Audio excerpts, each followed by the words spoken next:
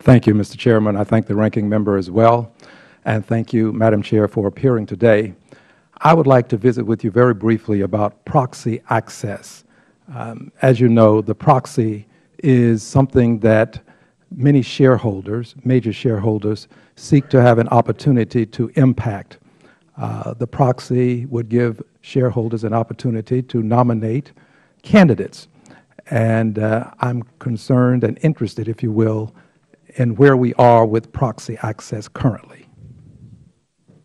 Well, as you know, there was a rulemaking overturned by the D.C. Circuit. Um, uh, but what wasn't overturned by the D.C. Circuit was our for, Rule 14a8, which uh, permits shareholder proposals uh, to be uh, at least to be sought to be put on the ballot. And this season, we've had, you know, a great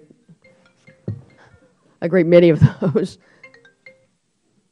I think almost 100 actually have been submitted. So, that, so you have a lot of private ordering that's you know going on with respect to uh, proxy access. Uh, there's been a fair amount of attention on it in this particular season, I think, because of a no action ruling that the staff made, and then uh, I directed them to review the issue more broadly, and we're not actually issuing uh, decisions on that particular exclusion uh, in this proxy season. But there's been, you know, there's been a lot of what I would call private ordering movement in the proxy access space, and we're, you know, very closely following that. There's not a, a you know, a mandatory rule, but there's a lot of private ordering going on.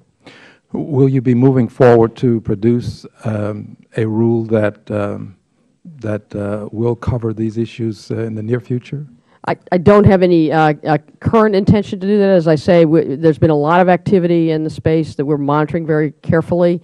Um, number of proposals have actually succeeded, uh, whether by ballot or by way of negotiation with companies. Uh, so we're before we would make any decision, you know, we're going we're watching that very closely and analyzing it. Thank you. Let's move now to um, your real, your most meaningful, I suppose, responsibilities. You are, as it is often said, the cop on the beat.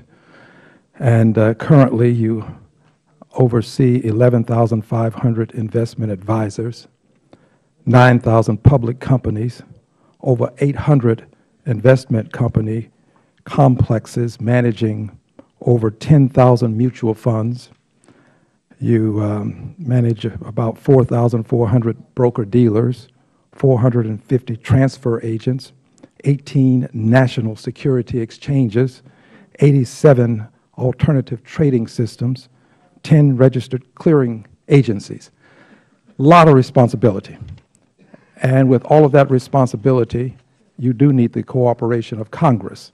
And you have so much as indicated today that um, you um, appreciate the support from this committee what is it that you would like the committee to do to uh, further support these efforts to maintain your position as a cop on the beat that is effective?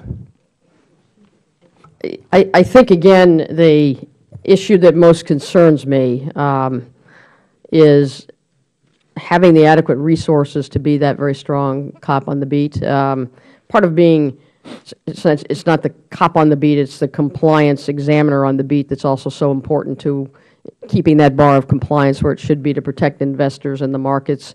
I've spoken earlier in response to other questions about uh, the need, I feel the compelling need uh, to um, meet that gap in coverage at the examination level. Uh, but clearly that you know carries through uh, to our enforcement function as well. You've indicated, I believe, by way of uh, the administration that you're in need of $222 million as an increase for FY 2015.